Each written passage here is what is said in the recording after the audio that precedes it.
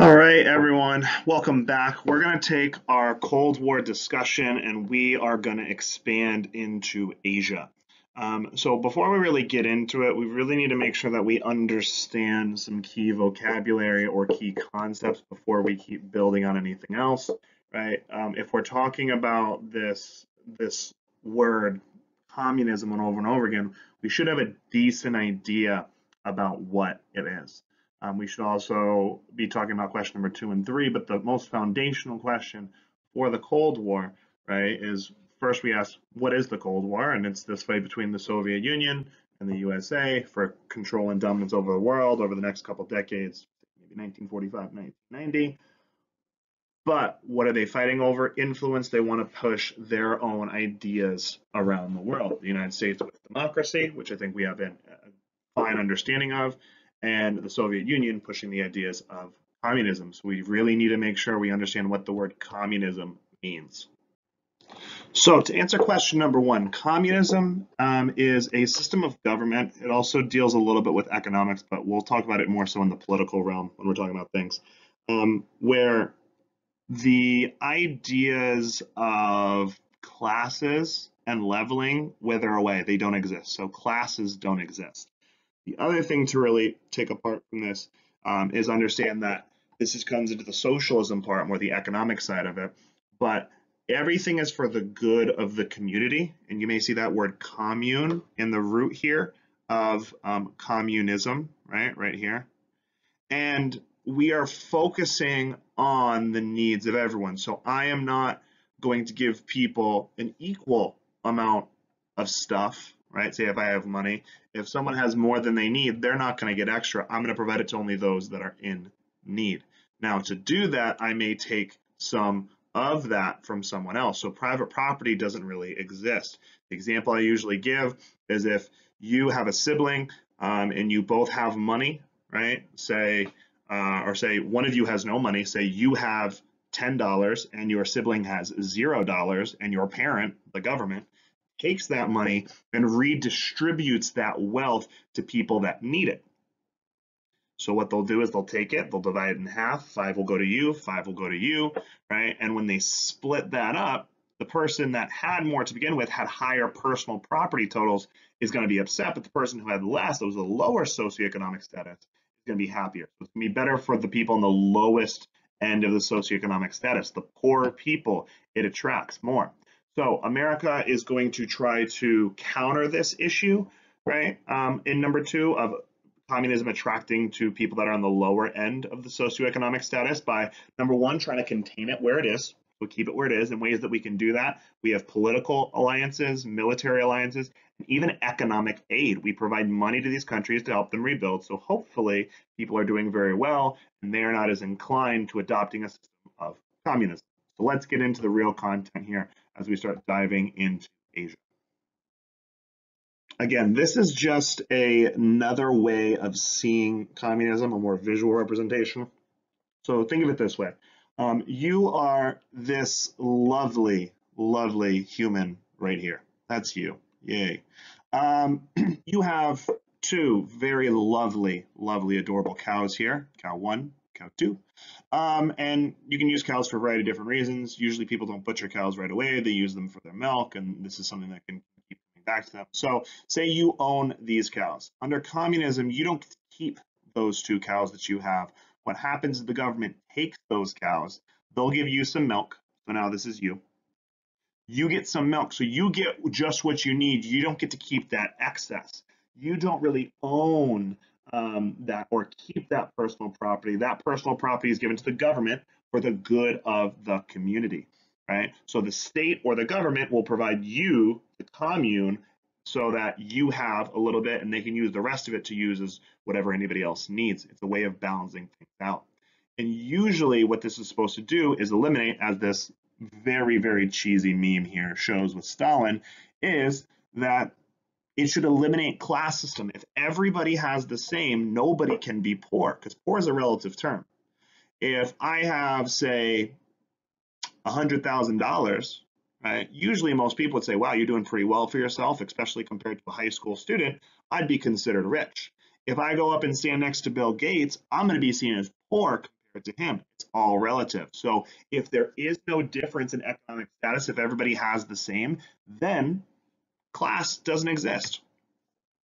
Now, when we're talking about classes, the people that are typically on the lowest end economically, the poorest in society, are usually two types of people. And you can see these symbols represented on the Soviet Union's flag. There are two tools here that are used by different types of laborers. The first one you'll see right here is one that you may not know the name for, called a sickle. Maybe you've seen the Grim Reaper with a really, really long one on a stick called a scythe, but it's essentially the same thing. A sickle is a handheld version of it, a, a closer one-handed version that farmers use to chop down wheat or chop down the stalks of their crops. So it's a tool usually represented them. And the other one, hopefully you're able to recognize what that might look like. That would be a hammer. Hammers are used by industrial laborers. Um, and so it's these, these signs of people that are usually at the bottom rung of society. These are the people have the most to benefit. These are the people that the backbones of country are built off of. Laborers and industry and the farmers feeding so just one last thing to review before we dive into new content. This is going to be a little bit of a flashback to what we already talked about in our last video, uh, our last segment where we talked about something called the Berlin airlift. Now notice that Germany is completely divided here. Boom, right here. This yellow one in this map is represented by yellow is East Germany representing the Soviet Union, the communist government. And inside of that is the city of Berlin. And the city of Berlin is subdivided like this. Um, the city of Berlin is divided in a similar way as is um, Germany as a whole. And so this is just another example of that division that's happening. What is going to happen to try to prevent communism from spreading? The United States is going to flood Western Europe and West Germany with money to help it rebuild as quickly as possible. As that happens, including in West Berlin, people are going to flood from East Berlin to West Berlin, from East Germany to West Germany. And to prevent from all of these people from getting out, all of their laborers from getting out, Stalin is going to set up a blockade um, after this Marshall Plan comes through and all this money starts flooding through. This blockade is to prevent to stop people from leaving the city of Berlin, or at least leaving to the western side. They're losing a lot of their major skilled laborers. They're losing a lot of their key workers. So Stalin shuts the gates all around. Now, the other thing that we can take note here is that West Berlin is completely surrounded. On its eastern side is East Berlin, a communist government controlled by the Soviet Union. All around it is East Germany, which is an entire communist bloc. So we have a huge problem here. How is America going to get supplies to these people? How are we going to get these people help? How are we going to get them aid? Are we going to bomb them? Are we going to bring in our big army? Are we going to do a massive invasion? And the answer is no, none of those things. We fly in airplanes, we provide humanitarian aid, we're dropping food, we're dropping things like bread and meat and and and other supplies. Like even in this case, on this milk, we're providing food and humanitarian aid to these people. Candy, we drop um, Hershey's chocolate, right, over over Berlin. And it's a way that yes, this conflict is handled. The blockade is going to end after a couple months, and things are going to go back to a little bit level in Europe. But no war breaks out. In essence, the Cold War stays cold. If you're struggling to really get a good grip on what the Americans um, at this time view of communism or why they're afraid of it or why it's a bad idea. There's this really great cartoon you can watch, and this link is right here down at the bottom of this page. I highly encourage you to check it out. Um, this will take you to a video, and you'll see kind of characters as you see here on the left. Um, a merchant comes into town selling a bottle, right? And this bottle he has in his hand here is a bottle that he calls the bottle of ism, right? It's supposed to be a bottle of communism, and why it's so interesting to all of these different people. Why might it sound interesting? And then by the end, you're going to see really kind of how dangerous it might be if you've ever seen, if you kind of remember the the uh, Donald Duck cartoon in World War II, where he goes and he lives in Nutziland, and then he wakes up from a bad dream about why it's terrible. So we have four different people here. On the far right, we have our farmer, right? We have our business owner, we have our industrial worker, and then we have our kind of wealthy merchant, our, our wealthy businessman. So there's a couple different people here, and you get a couple different perspectives about how it could impact all areas of American life. It's a really good tool for you to check out. All right, now we're going to get into where the Cold War actually gets a little hot, heating up a little bit. So we are going to take a little bit of a look into this subject matter. So the first thing that we can really take a look at is when we're talking about militarily what's going on. There were a couple different new agencies or part of the government that were created just two years after World War II ends here in 1947 to hope that America can better respond to these problems. And one of them is called the Department of Defense. Um, it's a major part of the United States government today. It directs the Army, the Navy, and the Air Force. The Air Force becomes really, really important because the Air Force is able to not only carry a lot of people around, you can drop bombs using this atomic weapon, you can be very mobile, you can get things around very quickly, and you can use it for recon, you can use it for spying, you can use it for getting information taking. So it becomes very, very interesting. The other thing that we have created is the CIA, the Central Intelligence Agency. They are going to be all about gathering new forms of information, um, all the different government, um, amongst all the different government agencies and governments around the world, a lot of uh, infiltration of countries. So there's a lot of um, special things going on with the CIA because now there's this fear of espionage in our country. How are we going to get rid of these spies? We're going to have spies of our own. And lastly, we have something called the National Security Council. Now, this is a picture of the Obama administration with um, the National Security Council. Um, what they do is they advise the president on anything dealing with um, something labeled as national security. So if there's a national threat abroad, these specialists will get their information, they'll research it, they'll figure out as much as they can, contact the other bureaus to try to figure out what they need to do, how they need to respond, what's the real situation going on there. Then they can bring all of this information to the president, answer any of his questions, give him advice on how to handle it. So you have specialists dealing with all of these different types of situations. Now, we have these new organizations and governments, so our government's getting ready for it, but militarily, we're getting ready too. At the end of World War II, we were the only country with nuclear capability. We're the only country with the atomic bomb problem is, is a couple years after World War II, we are no longer the only country with it. And guess which country has it? The USSR. The Soviet Union has created their own atomic weapon. This country that we're fighting with all around the globe, we're trying to have more influence than they are, we're equal now. We both have this same capable technology doing devastating things. Now, the big problem with this is not just that, there's another big issue. We never told them how to do it. So if you and somebody else have a secret and you never told anybody, you know that that secret must have gotten leaked out somehow. Somebody must have overheard you in some way.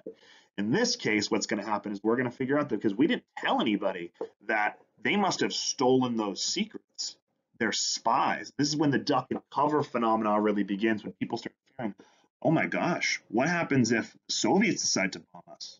Will they? When they? How will they know? Right? If they decide to do it, how are we going to react? Are we going to be safe? How can we protect ourselves? Spies have got into the highest level of the American government, the most secret project we've ever had in American history. And they were inside of it and we didn't know and they stole our secrets. So that's a huge problem, number one. So America really tries to get back to work, and they're still trying to kind of one up the Soviets. And after the Soviets test an atomic bomb, we kind of get really, really invested into trying to create our own weapon that's even more powerful. And we do just three years later. In 1952, America tests the very first hydrogen bomb. It's a different element. We're, um, we're, we're, we're using hydrogen instead. The hydrogen bomb is like 1,000 atomic bombs dropped in a single instant. It is unbelievably devastating. Now, this has never been used in combat, but we demonstrate it and we release that information. This is a whole new level of warfare. But just a year later, the Soviets do the same thing. So if you really want to take a look to see what it looks like, I'll leave this link down below, but you can just copy this up here and it'll take you right to that video. Um, it shows you kind of how they compare to each other, the atomic bombs that were dropped in um, on, on Japan, along with America's hydrogen bomb and the largest weapon, the most devastating atomic weapon, um, the own hydrogen bomb of the Soviet Union called the Tsar Bomba, right? That you can see just how explosive it is in comparison. And why are people really this freaked out? So now what we're going to do is we're going to start going into Asia. Now, a lot of these countries are, are countries that hopefully some of them will be able to identify. You may not be able to identify most of them or maybe even any of them depending on your background and history. Um, some schools, right, um, don't have any background in world history whatsoever, let alone old European history. So we've got a couple different countries here, some major ones all of these four are ones that we're really going to be dealing with. So number one, right here, right, this massive landmass country that extends all the way across Asia and into Europe here, that's going to be the Soviet Union. The Soviet Union is going to be the country we're going toe to toe with. This big country here in red, very important country for us moving forward, that is going to be the country of China. We're going to be dealing with China not too long.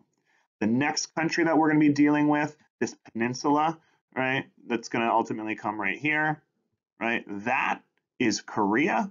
And then in the 60s and 70s, we're really going to be dealing with the war in this country, and that's Vietnam. So you're going to have to brush up a little bit on your Asian geography because it's going to really help us understand this story in greater depth about what's going on here. Why do these countries um, become more relevant in each coming day or each coming discussion, but we're going to get into that further we touch on these topics.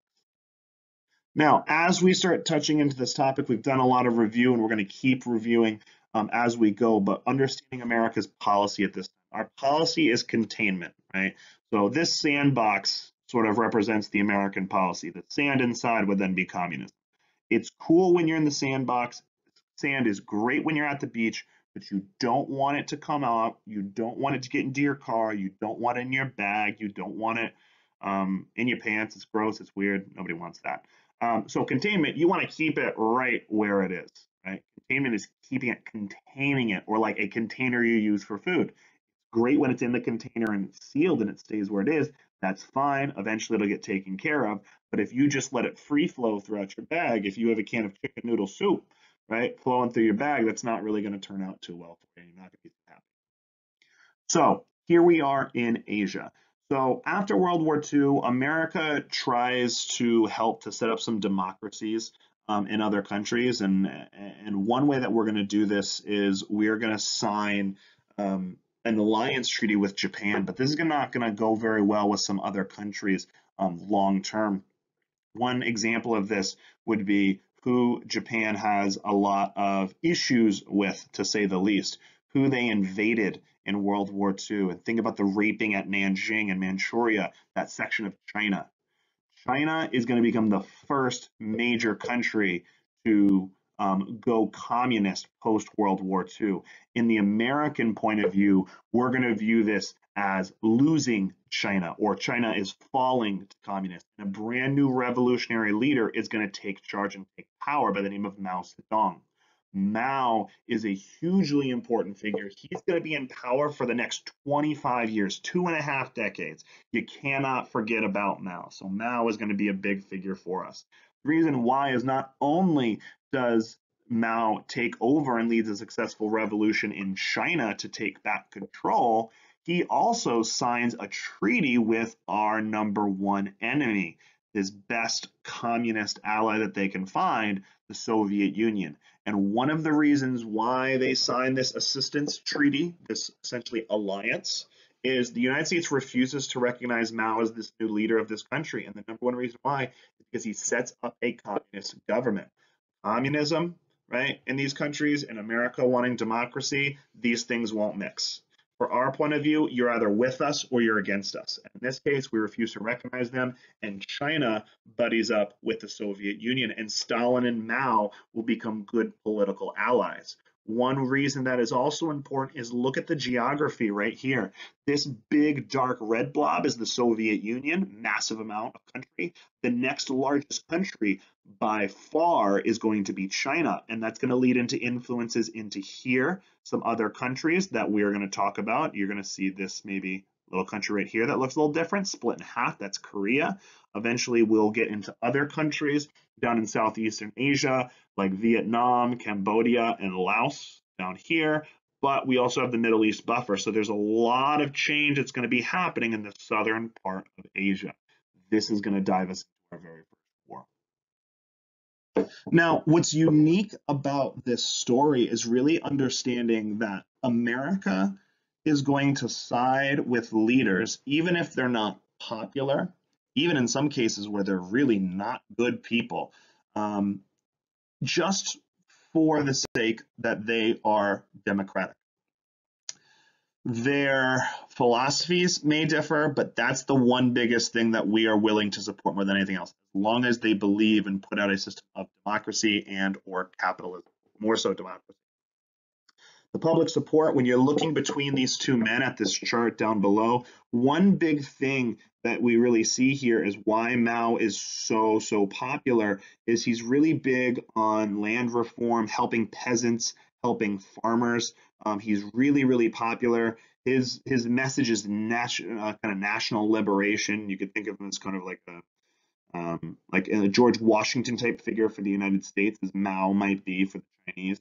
But we have this uh, this change um, in, in uh, morale and how the communists really have this wave going with a lot of support, perhaps from the Soviet Union right to the north. And they're going to use a lot of propaganda, just like the United States does. For example, take a look at this poster. Now, I'm going to go out on a limb here and say most of you um, watching this video do not know Mandarin. You do not know how to read it nor speak it. Um, and that's okay. We can still use symbolism, right? We can use visuals. You may have heard the phrase, a picture is worth a thousand words, right? A couple of things I would like you to note, right? Understand that size is really important. Look at that picture right there of Mao in the sun, kind of like if you ever watch the Teletubbies, there's a big face in the sun, right? I always say that's kind of silly, but um, he's kind of like that in this regard, this major leader um, and then notice the size of the people down below that they're loyal to him, that he is going to lead China into this new era. We also, right, have other forms of propaganda that we saw in our country where we specifically put um, people of um, different professions or different depictions or different genders in the forefront of these posters to really draw these people to action. Think about what support does Mao have the most of? There's a couple people here. Think about what they're wearing, right? What type of profession they may have. One that might be easy to pick out, right? Might be this individual right here, right? Maybe you recognize him as a soldier for sure. And he's got a big red book in his hand. You may not know what that is, and that's okay. Right? That's kind of uh, you think of it like the Communist Bible in China. It's kind of a book of Mao's sayings and Mao's um, um, laws and teachings, and it's a way of kind of like law and order. Right? We have a soldier, we have over here, perhaps a farmer. And also notice that she's a female, right? She's a female. Got a bayonet down here. Pretty scary. And then we also have industrial laborers. We have all different types of people, usually common people. These are not usually the high class individuals, but this is a people's movement. Think of that analogy. Look at that. Loyal communists as well, right? We also, right, kind of see this message that the United States has gone through, many other countries gone through. You're going to struggle for a couple years, but we're going to change the face of our country. We're going to catch up with the rest of the world. And Mao is going to be able, with his Great Leap Forward campaign, to get this country moving in a more modern direction. Notice again the farmers and the industrial workers, symbols of communism, the people that have the most benefit really using the most of the population to change how society is structured in China, right? And we're going to really push this to a, a more modern end. And so to do that, there's need for, different resources and changing kind of the uh, dialect and the story, but it's going to lead us into a lot of different conflicts here, right? There's a lot of different propaganda. Um, the use of the phoenix over here on the left or the dragon on the right here. Um, notice what they're coming from. On the left, that phoenix um, is coming from a bushel of wheat from a farmer. And from the right, a steel drum of an urban laborer, right? Both of these people together, the sign of power, of strength in Asian culture, which you're really going to see happen here. And that's the message and the motive. It's using technique that people understand. This may not mean a lot to a Western European or, or, or an American and uh, North American, but this these symbols are much more common in Asian culture as you see here. Now, the Chinese Civil War is going to happen. There's going to be this fight between um, the the communist government and the nationalist government. Um, ultimately, this little island down here is the island of Taiwan. Um, the communist government is going to take over the mainland China, and they're going to repel and defeat the remaining um, nationalist forces. And so communism is going to take over the country. And Mao is going to be one of those massive influential leaders in the story of communism. We have Marx over on the far left, the father of communism. Lenin, um, who leads the um, revolution in um, Russia, turning it into the Soviet Union before Stalin takes over, and then now Mao um, taking that charge into China. So he's a hugely important figure. But again, all of these things are happening. You really got to have to latch down on one major major thing here, because this is going to decide how Americans are going to react in the future. Americans fear that the rest of the world is going to fall to communism. We feel like we lost China. Like we should have kept China democratic and we lost it. And so because of that, because we failed to contain communism successfully, American paranoia is really going to set in. We're going to fear like, oh my gosh, this is the worst possible scenario. What else could happen next? And it's going to breed um, a philosophy or a theory called the domino theory. The domino theory, you can think about maybe you've seen those crazy YouTube videos where people set up these giant trains of dominoes and they set them all through the house and this huge mechanism. And think about what happens when you knock that first one over. It hits the next one, and then the next one, and the next one starts picking up steam, and the next one, and the next one. It hits down this entire chain around the entire house, the entire property, after just knocking over one. When we take that analogy and we apply it to communism in other countries, Americans are going to really kind of buy into this domino theory that if we let one country fall to communism, the next one's going to fall.